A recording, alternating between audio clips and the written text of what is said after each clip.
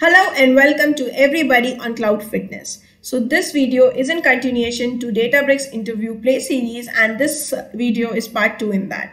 So let's go ahead and check out what questions we have for today.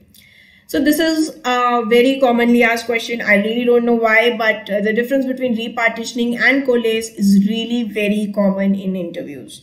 So when you talk about repartitioning and coalesce, uh, I have already made a video on that. You can check it out. But yeah, for this, I'll actually give you some data points. When we talk about repartitioning, uh, let's say uh, you already know that Spark is a, uh, you know, uh, partition based.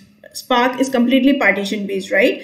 And when you talk about repartition, you can both increase and decrease the number of partitions through repartitioning. When you talk about coalesce, you can only decrease the number of partitions through coalesce. You cannot increase it.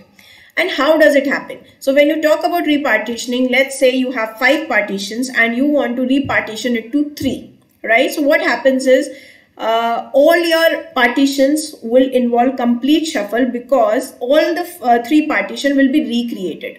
There will be nothing you know it, it, will not be like the what i'll explain you for coalesce but the repartitioning it involves you know complete shuffle because the three partitions that it will create it will create from scratch but when you talk about coalesce, if the same thing you were to do in coalesce, from 5 you want to make it to 3 partitions, what it will do is it will take the data from the 2 partitions and it will add to the remaining 3 partitions. So if you see in coalesce only uh, you know the data is being taken only from the two partitions right? So the shuffle is very less. But when you talk about repartitioning uh, it is actually uh, you know recreating all the three partitions so uh, when you talk about shuffle, shuffle is more in repartitioning than in coalesce.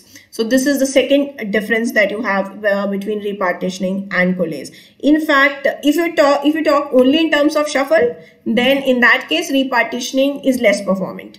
But um, I'll in fact discuss uh, more about it. Now let me go back to the Databricks and in fact show you this right? If you want to uh, create repartition, this is the syntax. Like on a data frame, you can simply write dot repartition and you can provide the number of partitions that you want to create on that particular the you know data frame so let's say i wanted to create two partitions so it i can in in the brackets i can simply write two right for that particular data frame and similarly when you talk about coalesce you just have to write one right? So this is the this is just the syntactical difference. And if you want to see more in detail regarding the partitions i have already made the made a video on difference between repartitioning and coalesce in databricks. You can go ahead and watch it in my play series for databricks. Now I'll move to the second question, which is actually again with regards to coalesce, which is what is the drawback of coalesce? So this is the, uh, you know, if you answer the first question correct to the interviewer, he will definitely ask you this question that if uh, you know you have less shuffle in uh, in coalesce then why why do we even use repartition right? Whenever we are trying to decrease the partitions then you can you can always blindly go for coalesce but that's not the case. Because if you see coalesce will involve lot of data skewness. Why? Because when coalesce is taking the data let's say i want to reduce the partitions from 5 to 3 right? It is not it is randomly taking the data from two partitions and adding it to the remaining three partition it does not see whether there is any data skewness or not.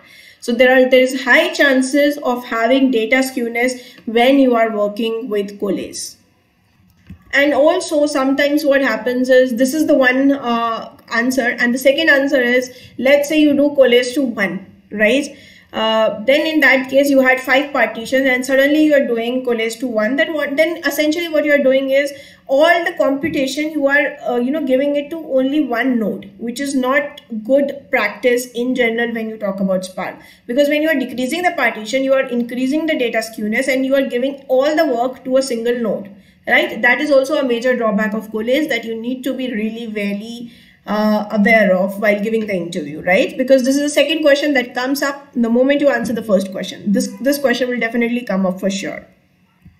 And now from this question itself, another question pops up, which is, let's say we have zipped files, right? Then how they are distributed in Spark. Let's say you have a zipped file, right?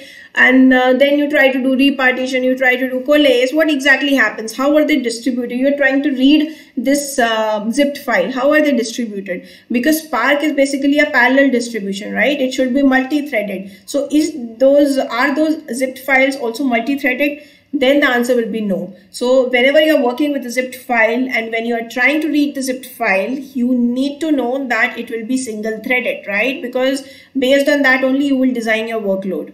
So you need to be very well aware that the zipped file, these will be considered as a single thread. They will, all the computation will go to one thread only.